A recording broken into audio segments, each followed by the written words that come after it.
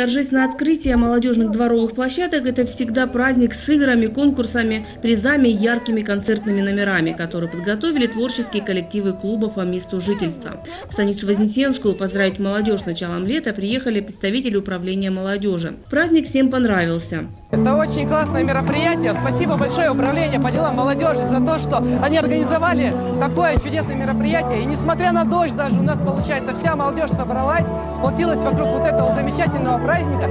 Сегодня очень веселое мероприятие. Первый раз на таком. С ребенком очень понравилось. Несмотря на дождь, а очень весело, здорово, круто. Вообще супер, спасибо. Сегодня я провожу замечательный молодежный старт.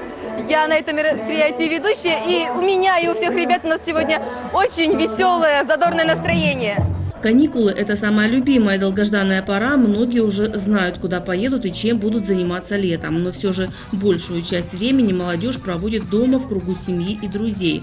А по вечерам собираются на дворовых площадках. Сегодня это популярная форма досуга, которая позволяет не только общаться, найти новых друзей, но и провести свободное время с пользой. Этим летом специалисты управления по делам молодежи запланировали множество мероприятий.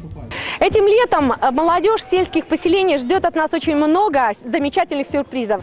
Это множество различных креативных акций, мероприятий, квест-игр. А, Многие из них будут посвящены 80-летию образования Краснодарского края. В этом году а, молодежь сельских поселений примет участие в новых тематических сменах и форумах, организованных а, как Управлением по делам молодежи муниципального образования Лабинский район, так и Министерством науки, образования и молодежной политики Краснодарского края. Наша молодежь обязательно примет участие в губернаторском форуме «Регион 93», примет участие в федеральных сменах и форумах. Это впервые в этом году. Мы поможем трудоустроиться нашей молодежи на Черноморском побережье, а, на территории Лабинского района. Ну и, конечно же, а, будут работать молодежные дворовые площадки, молодежные клубы. Будут нами организованы многодневные походы, туриады. Это все, конечно, позволит нашей молодежи с пользой и очень интересно провести лето 2017 года. Наталья Твиненко, Горисаков, телекомпания «Алабам».